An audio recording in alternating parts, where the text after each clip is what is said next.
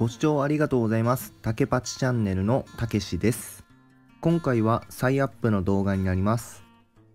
今回は P 魔法先生ネギマを完全攻略していきましょう。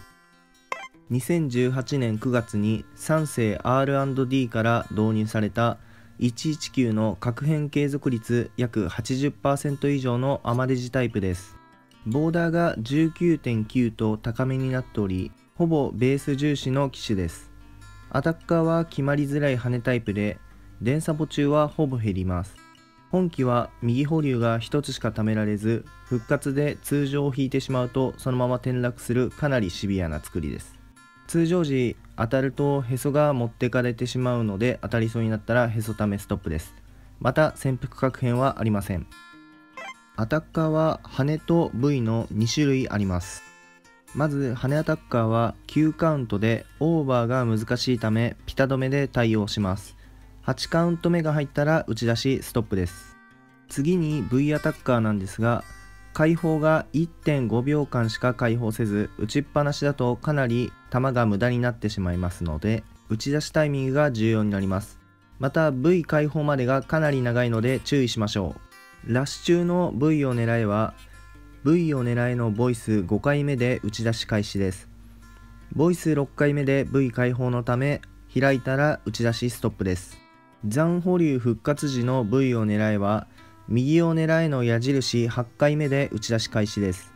矢印9回目で V 解放のため開いたら打ち出しストップです。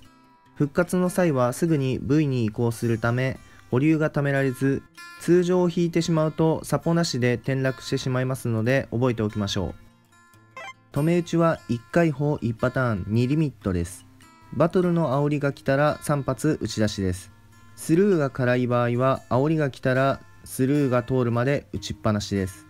無駄玉が出やすいので節約打法で打ちましょう。貸し玉換金率等価でベースが25.0増減がマイナス0.50出玉値間が8ラウンド平均645玉。通常回転2000回転で期待値約プラス5000玉になります。今回の機種なんですがへそが5玉返しで電池の隣の右ポケットが8玉返しなのでポケットが良ければそんなに減ることはないと思います。今回ご視聴ありがとうございましたまた次の動画もご視聴よろしくお願いしますそれでは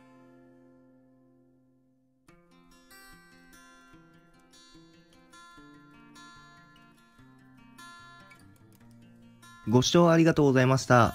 チャンネル登録、Twitter のフォロー、高評価、コメントお待ちしております。それでは。